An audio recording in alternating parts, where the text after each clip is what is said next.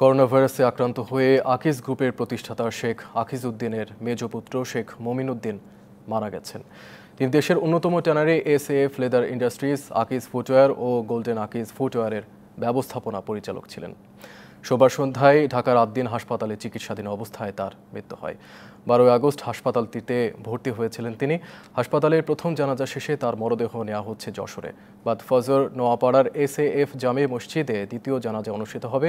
এরপর মঙ্গলবার সকাল দশটায় এস এ এফ কারখানা চত্বরে তৃতীয় জানাজা এবং বারোটায় পৈতৃক ভিটা বেজের ডাঙ্গায় জানাজা শেষে বাবার কবরের পাশে দাফন করা হবে তাকে।